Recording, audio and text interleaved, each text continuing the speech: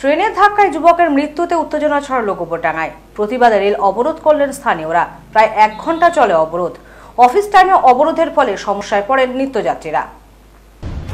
ট্রেনের ধাক্কায় যুবকের মৃত্যুকে কেন্দ্র করে উত্তেজনা ছড়ালো গোবরডাঙ্গায়। প্রতিবাদে রেল অবরোধ করেন স্থানীয়রা। প্রায় এক ঘণ্টা চলে অবরোধ। সমস্যায় পড়েন নিত্যযাত্রীরা। ঘটনার সূত্রপাত বুধবার সকালে। এদিন ডাউন বনগাঁ শিয়ালদহ লোকাল ট্রেনের ধাক্কায় এক যুবকের মৃত্যু হয়। মৃত যুবকের নাম সুমন বণিক। গোবরডাঙ্গা দাসপাড়া এলাকার বাসিন্দা সুমন পেশায় টোটো চালক। এদিন সকালে চিকিৎসার জন্য বনগার উদ্দেশ্যে বাড়ি থেকে বের হয় সে। গোবরডাঙ্গা স্টেশনের টিকিট কাউন্টার থেকে টিকিট কেটে দ্রুত তিন নম্বর প্ল্যাটফর্মের আপ ট্রেন ধরার জন্য লাইন পার হয়ে আসতে যায়। এক নম্বর প্ল্যাটফর্মে দাঁড়িয়ে থাকা আইসোলেশন ট্রেনের নিচ দিয়ে লাইন টপকে আসার সময় দু নম্বর লাইনে ট্রেন চলে আসে। সেই ট্রেনের ধাক্কায় ঘটনাস্থলে মৃত্যু হয় তার। ঘটনার পর থেকেই ক্ষোভে ফেটে পড়েন স্থানীয়রা। স্থানীয় টোটো চালকরা স্টেশনে বিক্ষোভ দেখাতে শুরু করেন। স্টেশন মাস্টারের ঘরের সামনেও বিক্ষোভ দেখান তারা। তারা অভিযোগ করেন দাঁড়িয়ে থাকা ট্রেনের জন্যই এই দুর্ঘটনা। দাঁড়িয়ে থাকা ট্রেনটি সরানোর দাবি জানান বিক্ষোভকারীরা। টিকিট কাটতে এসেছিল এবারে দু নম্বর এক নম্বরে। এক নম্বরে আসার সময় ও যখনই ট্রেনটাকে ও যখনই ট্রেনটাকে ক্রস করে এই ট্রেনটার উপর দিয়ে যখনই ক্রস করেছে ক্রস করার সঙ্গে সঙ্গে ও, ওই ট্রেনটা ঢুকে গেছে, ঢুকে গেলে ওই ট্রেনটা ওকে বাড়ি মেরেছে। গাড়ি মেরলে সঙ্গে সঙ্গে সাইডে পড়ে গেছে, সাইডে পড়ে গেলে ট্রেনটা ওকে একদম মাটিয়ে ফেলেছে ওকে। সময়ও বেঁধে দেন তারা। তাদের বেঁধে দেওয়ার সময় অতিক্রান্ত হয়ে যাওয়ার পর দাঁড়ানো ট্রেন সরানো না হওয়ায় বিকেলে রেল অবরোধ শুরু করেন স্থানীয়রা। অবরোধের জেরে বনগা শিয়ালদাহ শাখায় আপ ও ডাউন লাইনে ট্রেন চলাচল বন্ধ হয়ে যায়। ঘটনাস্থলে আসে আরপিএফ, জিআরপি, গোবরডাঙ্গা থানার পুলিশ। প্রায় এক ঘণ্টার অবরোধে অফিস ফেরত নিত্যযাত্রীরা সমস্যায় পড়েন। পরে আগামী সাত দিনের মধ্যে দাঁড়িয়ে থাকা ট্রেন সরানোর প্রতিশ্রুতি রেলের তরফে দেওয়া হলে অবরোধ উঠে যায়। আমাদের টাইমটা দিন তারপর আমরা দেখছি। তার মধ্যে আমরা চেষ্টা করছি এটাকে রিমুভ করার।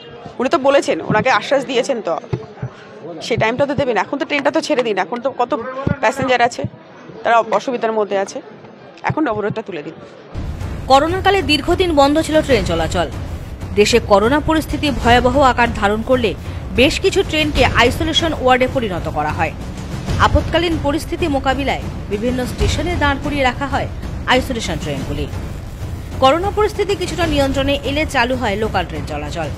কিন্তু এক বছরেরও বেশি সময় অতিক্রান্ত হলেও দাঁড়িয়ে থাকা আইসোলেশন ট্রেনগুলি সরানো হয়নি রেলের পক্ষ থেকে। এই এক নম্বরে গাড়ি থাকার জন্য সবারই অসুবিধা হচ্ছে। জনগণ, সাধারণ পাবলিক সবারই অসুবিধা হচ্ছে।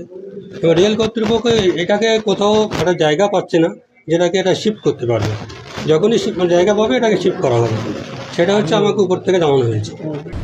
নিত্যযাত্রীদের অভিযোগ, দাঁড়িয়ে থাকা ট্রেনের জন্য নানা সমস্যায় পড়তে হচ্ছে তাদের। গোবরডাঙ্গা এক নম্বর প্ল্যাটফর্মে ট্রেন দাঁড়িয়ে থাকায় দু নম্বর ও তিন নম্বর লাইন দিয়ে ট্রেন চলাচল করছে। গোবরডাঙ্গা লোকাল ধরতে অনেক সময় তাড়াহুড়ো করতে হচ্ছে সাধারণ যাত্রীদের, যা দীর্ঘদিন ধরে অভিযোগ করে আসছেন তারা। এদিনের ঘটনায় সেই দীর্ঘদিনের ক্ষোভের বহিঃপ্রকাশ বলে মনে করছেন অনেকেই।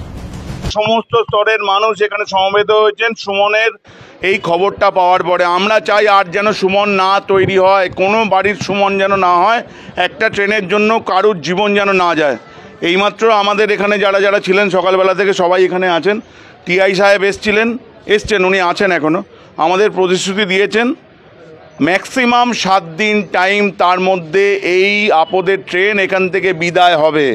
এই ট্রেন যদি বিদায় না হয় আগামী সাত দিনের মধ্যে, তখন গোবরডাঙার মানুষ এমনি শান্ত, নিরীহ, আরও বৃহত্তর আন্দোলন গোবরডাঙার মানুষ করতে জানে। Bureau report, news no man's land, Gobardanga.